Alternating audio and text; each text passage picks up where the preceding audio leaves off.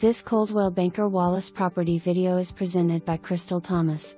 Beautiful home with two stone fireplaces, master bathroom double sinks with whirlpool tub and separate shower. Walk-in slash through closet with shoe racks.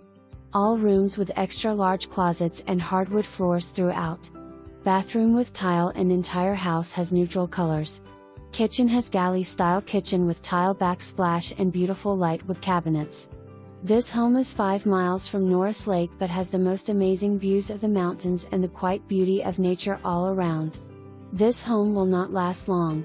For more information, review the details below or contact Chrystal Thomas at 865 584 4000.